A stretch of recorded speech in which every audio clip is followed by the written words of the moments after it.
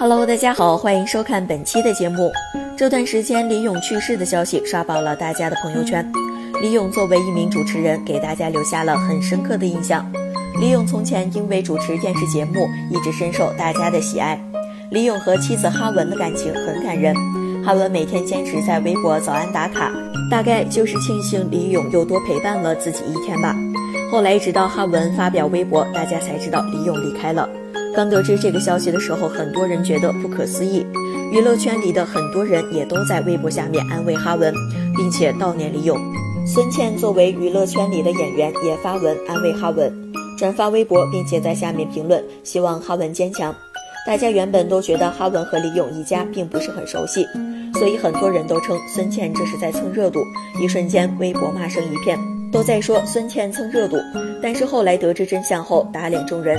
孙茜和李咏家的关系很不简单。孙茜和老公蔡远航和李咏家是二十多年的好朋友，孙茜也是李咏的校友，两个人在大学的时候就认识，所以两家人的关系很好。感谢观看本视频素材来源于网络。